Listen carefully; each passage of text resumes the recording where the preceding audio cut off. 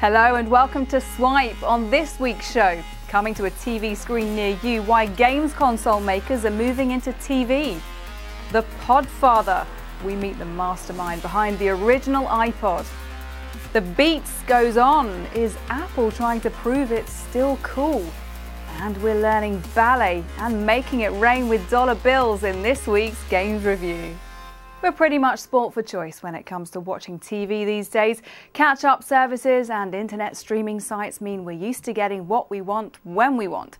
Netflix is now so popular it makes its own original content for viewers, and it's not the only one. Microsoft and Sony are both developing their own programming with a view to turning devoted gamers who use their consoles into avid viewers. But will it work? Sky's Katie Spencer's been taking a look. Today we send forth a vessel designed for battle.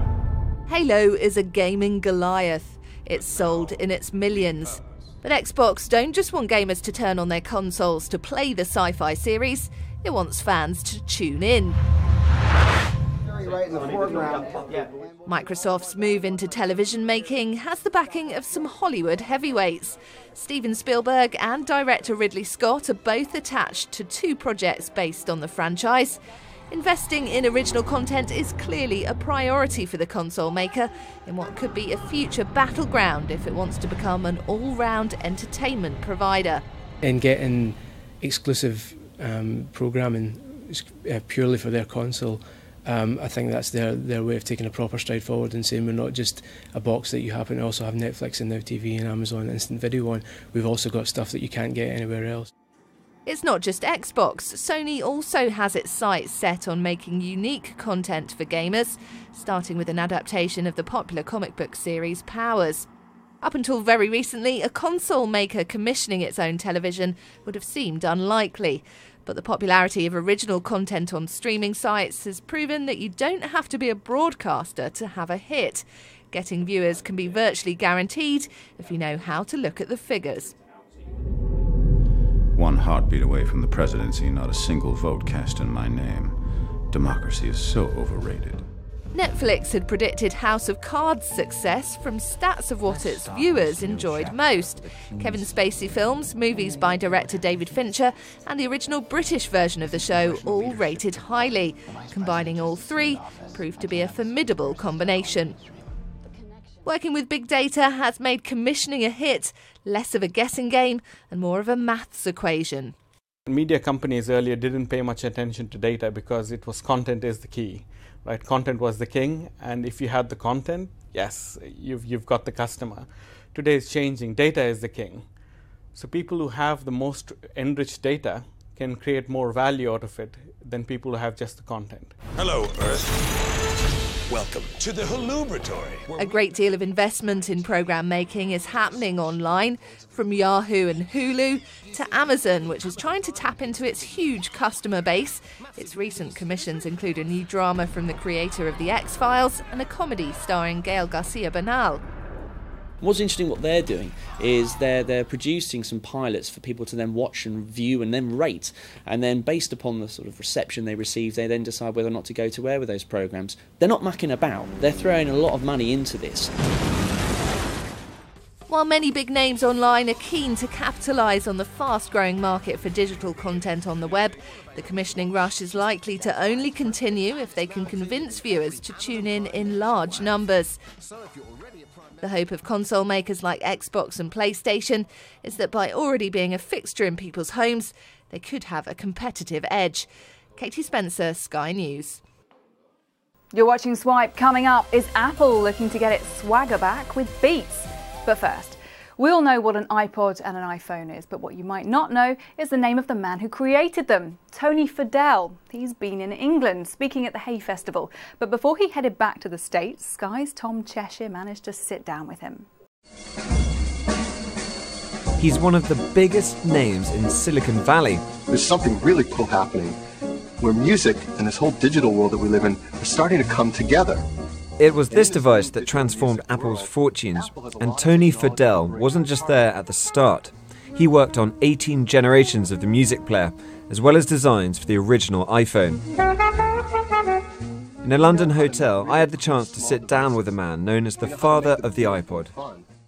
There was a, a person at Apple, and we had a mutual friend uh, together and coworker, and uh, through a, a, basically a random series of lunches, that's the way Apple met me, and I met Apple. They were looking uh, for a consultant to come in and help uh, try to find out how to bring digital music beyond the CD. They were working with MP, other MP3 players at the time with iTunes, and they were just not an optimal experience. And so I was brought in, given my mobile experience doing handhelds, um, to and and my company that I had at the time doing music plus uh, you know home theater, to come in and say what would a digital music player look like if Apple were to design it. Meet the Nest Protect smoke and carbon monoxide alarm. Since he left Apple, Fadell set up his smart home devices firm Nest, bought by Google for around 1.9 billion pounds last year. His new mission? Giving us thermostats and smoke alarms for the smartphone generation. Google came along with the acquisition for several billion dollars. Apart from uh, the several billion dollars, why uh, why sell and why sell to Google in particular? Early on, before we actually shipped a product, I met with Sergey Brin and showed him, you know, the, the Nest Learning Thermostat. And he was just blown away. And they wanted to actually buy the company then. And what we said was, no, how about investing? And so we developed a relationship over multiple years where they continued to invest in the, in the company. And, and we got to learn about each other.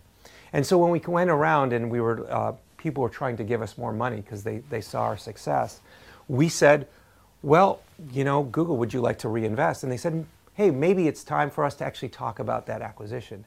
And when we looked forward at the technologies that we needed, Google had much of that. And we couldn't believe that it fit really hand in glove.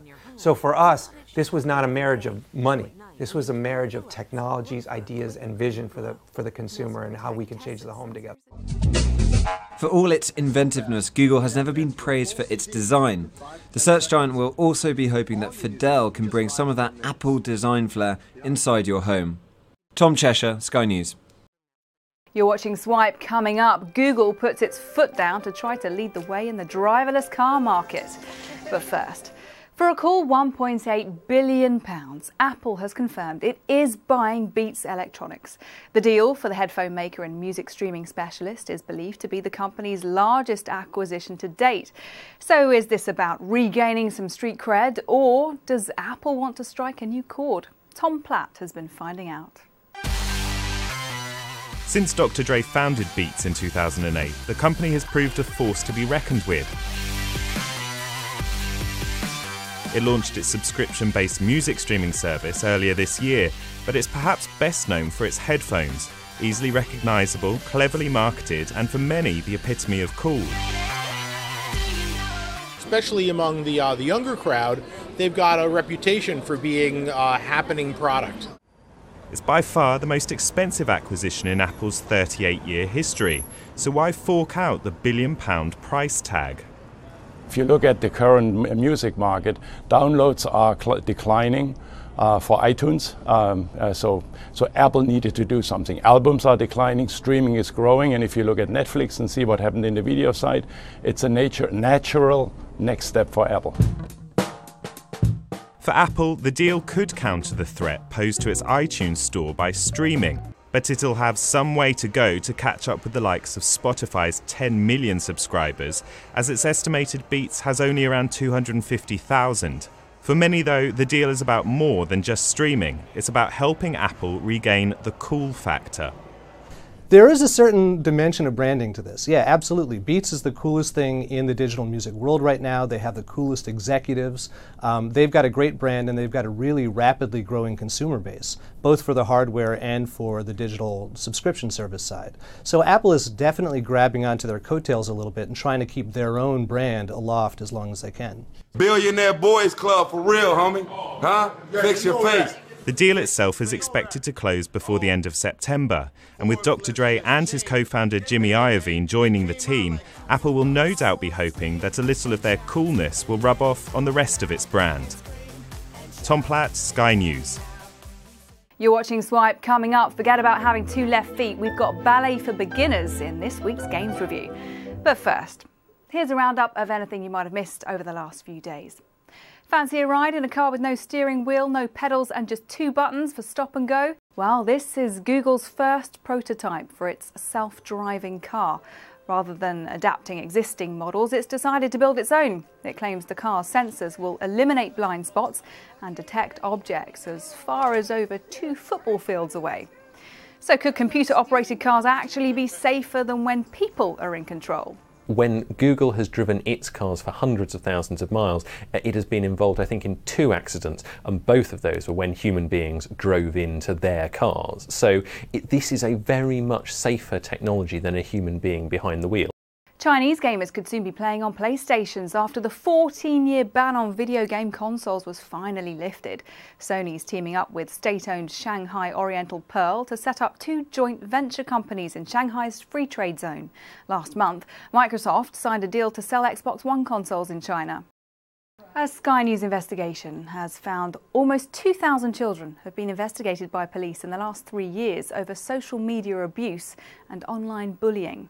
Children as young as nine are among those who faced police action, including being charged with a criminal offence. So whereas crime generally um, for young people um, has gone down in terms of people, you know, young people being criminalised, it seems as if it's moved very slightly to um, the internet and to um, social networks. Some iPhone and iPad owners have had their devices frozen by a hacker, demanding £55 to unlock them. Most of the attacks have happened in Australia, but some UK users may have been targeted.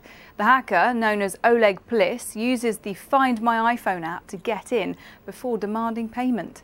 The Australian government has told users not to pay up. Android users of the music streaming service Spotify have been told to upgrade their apps after a hacking incident. Spotify said that although the breach only affected one user, it felt it needed to take action. iOS and Windows phones don't appear to have been affected. A new crowdfunding project wants to get us walking on sunshine. Julie and Scott Brusaw's plan to cover American roads with solar panels has so far raised $1 million through Indiegogo. So far, they've only built a prototype, but they hope to start manufacturing soon. Now, never let it be said that here on Swipe, we don't strive to bring you all the weird and wonderful things that the gaming world has to offer. This week, we've a realistic role playing revenge game, mini me's, and dancing help from the Dutch National Ballet gaming guru Jane Douglas has been test driving a few. Always Sometimes Monsters is an indie game for PC, and it is also a life simulation adventure. So you start out by choosing the sex and race and sexual preference of your writer character, and then you hit rock bottom, basically, and you've got no money, you're being evicted from your flat, and your true love has moved across the country, and you have 30 days to go and break up his or her wedding, if you like. You're endlessly presented with choices, and some of them are like tedious and mundane, like in real life, and some of them are a bit more morally murky because it is a game that is interested in what you will do when you're desperate and to what depths you will sink. It's quite misleading in its in its simplicity and its re- retro cutesy aesthetic, and it actually deals with some some quite serious and grown-up ideas. Hey, I'm Steve. Tomodachi Life, by way of contrast, is another life simulation sort of game. It's much, much lighter hearted. Uh, it's for the Nintendo 3DS, and in it, you create a character that's like a little virtual stand in for yourself. Again, very cute, and you customize its appearance and its personality, and then you let it live on an island that's populated with all your friends who you've also created or imported. You can try on outfits and have fun times, but also you can uh, woo your sweetheart and maybe be successful and maybe not be successful. If you've tried uh, The Sims, then it's a little bit like the social elements of The Sims, but through that Nintendo lens of being very silly and quite frivolous.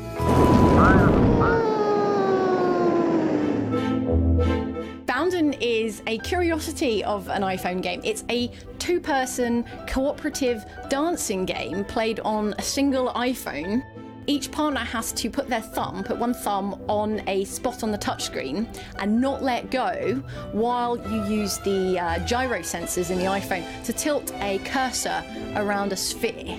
The idea being, if you've got the intrinsic grace, it will look like you're dancing. If you don't, it'll look like you're playing a game of Twister on an iPhone or something. But the choreography is designed by the choreographer from the Dutch National Ballet. So if you have a look at the trailer, the people in it really look quite graceful. And, and I don't know, maybe that'll be you. It wasn't me. But uh, it's well worth a try because it is that little bit different. Make It Rain, The Love of Money, to give it its full title, is either an anti capitalist spoof or a colossal waste of everyone's time, possibly both. It's a, an iPhone game or an Android game, you know, obviously for your mobile. And in it, you make money by doing the, you know, the make it rain gesture, just like doing this, swiping your touchscreen just endlessly to make money. And that's how you make money. And you make money to make more money, to spend that money on investments that help you make money faster.